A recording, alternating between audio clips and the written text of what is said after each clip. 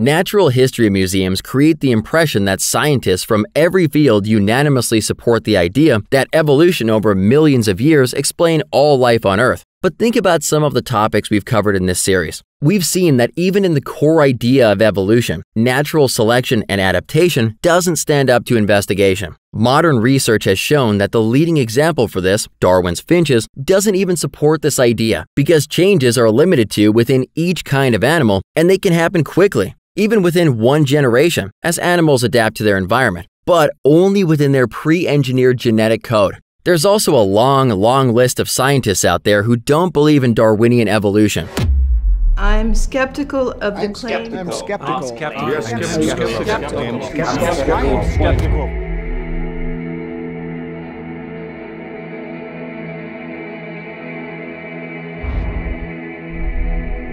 We are skeptical Of claims for the ability of random mutations, and natural selection To account for the complexity of life. A careful examination of of the evidence. for Darwinian theory should be encouraged.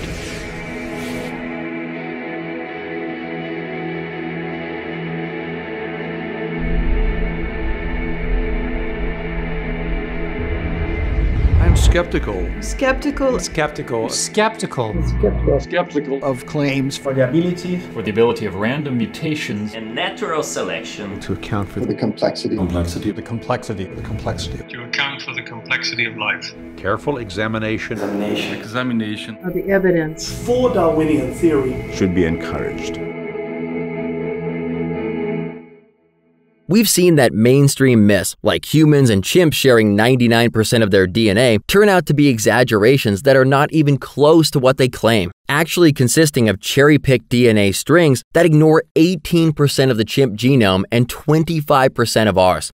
We've seen how human evolution icons like Ardi, Lucy, and Homo habilis don't hold up to scrutiny, even within evolution circles. We've also revealed how the Neanderthals, who used to be regarded as the brutish gorilla like ape to man connection, were just humans, living and surviving in their environments in genius ways. Looking at dinosaur extinction has also been telling. While natural history museums widely promote the asteroid theory, we've seen how numerous scientists abroad depart from this explanation behind the dinosaur demise. We've also seen how the Genesis flood better explains the geological layers that these dinosaurs are buried in. Layers that spread across multiple states, even 14 state regions with untold millions of land and marine creatures all mixed together. The action of catastrophic plate tectonics during the biblical flood provides a much better explanation about what happened to the dinosaurs. We've looked at how evolutionary scientists have rotated through four different mammal orders trying to find the creature that plays the beginning part in the land mammal to whale story, but none seem to fit.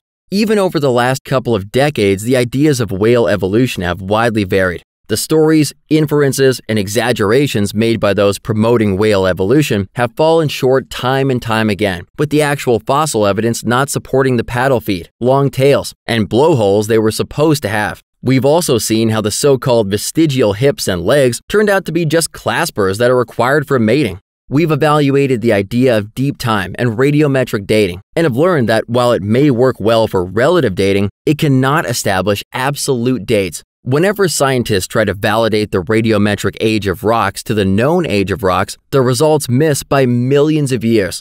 Those who side with creation and those who believe evolution both rely on faith when it comes to the distant past. Human history runs out just thousands of years ago, and beyond that, faith is the tool we use to understand the past. Ultimately, this is because we cannot apply real observational science to the distant past. Creationists and evolutionists both have the same data, but this gets interpreted through different worldviews. To the creationist, the God of the Bible recently spoke the world into existence, including all animals after their own kinds. The world was later catastrophically destroyed by a worldwide flood that left markers, obvious markers, on every continent. To the evolutionist, the mechanisms of random chance, mutations, and selection over billions of years brought everything we see to life. To them, everything comes from nothing. So, while it takes faith to believe either account, don't think that one is scientific and the other is not. You see, science, true science, requires observation, testing, and repetition. This real form of science is how we put people on the moon, develop new medicines, and make technological advancements. Evolution, on the other hand, relies on historical science, which requires making inferences and guesses about the distant past, a time we cannot go back to observe, test, or repeat. When a fossil is recovered, the only thing we can know for certain is that the creature died. We can also sometimes infer how it died and learn more about it from where it's buried, the material it's buried in, and the other creatures that are found around it. But these all require making assumptions about the past, a past that we cannot observe, repeat, or test, which are three of the essential requirements for real observational science.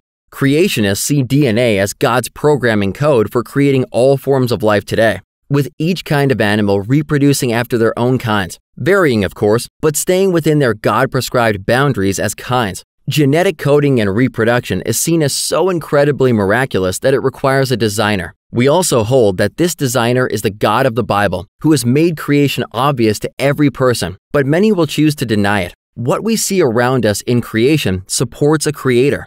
We have a specifically tuned universe with planets in orbit, magnetic forces in play, and an atmosphere that is perfectly engineered for life.